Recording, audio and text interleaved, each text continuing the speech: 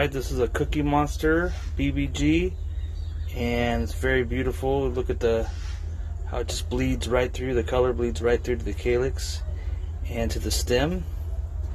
Uh, I got this pod in a box of peppers that I got from Mark Wilkerson, and uh, I'd never heard of this one, so I thought it'd be really cool to try this one out first. Um, there's so many peppers. I'm just gonna try to do like the ones like I really don't know anything about. I'm gonna try to do reviews on those, so when people go on the internet, they can check it out. And you can see, look at the oil on that thing. Just it's puddling up in there. Um, looks really nice on the inside. So I'm trying not to kill myself today, so I'll probably take a much smaller piece. So um, yeah, that smells really good. All right, so let's try this thing out.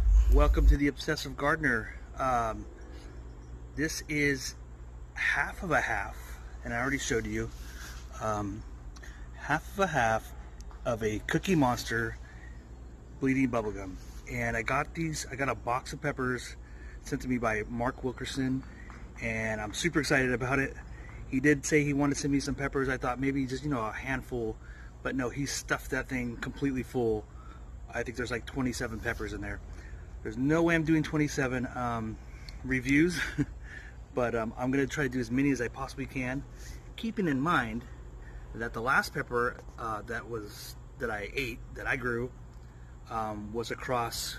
Um, it was a chocolate Moruga Scorpion cross with a Yellow Reaper.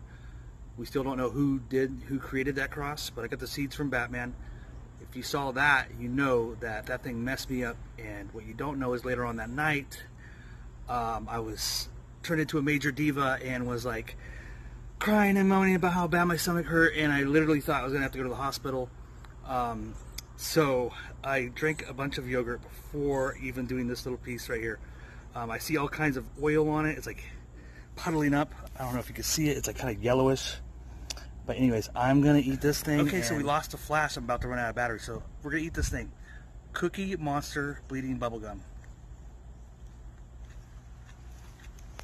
Very good. Um, very hot. The flavor, um,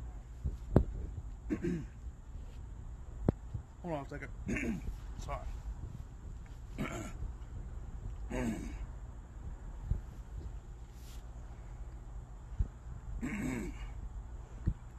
I smell it from right here. Ooh.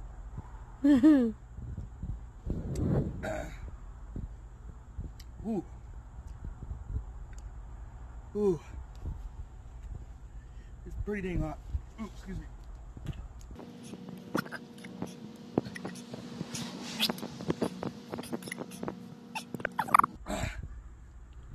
try, try to get through this.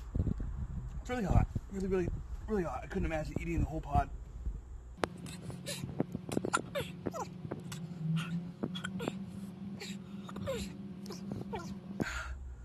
Eyes are wa watery, whole mouth burning, tongue, lips. Excuse me. Tongues and lips mostly.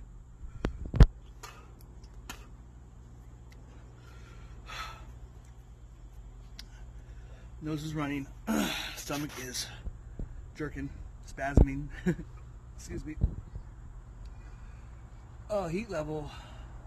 Well, I was talking about the flavor first. Okay, so I think I'm coming back down the other side. Excuse me. Whew, wow, it's a hot pepper. Flavor is very, uh, um, very good. we at like a 6.5 has that very um, a lot of peach colored pods super hots especially that I've that I've tried which I haven't done a whole lot of them but they have a very similar similar smell very strong very good smell. Um, and uh, the flavor tastes very similar to that.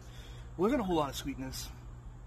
Um, uh, maybe a, little bit fruity, but um, flavor hit and then the heat hit right after that. So like right as the heat hit, um, I kind of lost all taste.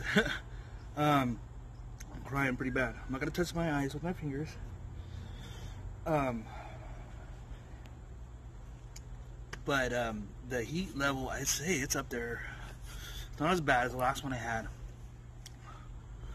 Um, say it's like an eight, seven point five to eight, which um, you know, I'm not Johnny Scoville. His it'd probably be like a four on his or, or three maybe. Yeah, probably wouldn't even be a four on his, but yeah, it's a really hot pepper, really good pepper. I haven't seen any videos or anything about the Cookie Monster BBG. If you know anything about it, uh, put it down in the comments. Um, so, thanks for watching, and um, I know it's dark outside. I'm just trying to get these things, these out there before they start going bad. So, I may do one or two reviews tomorrow um, if I make it through the night. Thanks for watching The Obsessive Gardener. Please like and subscribe. Thank you.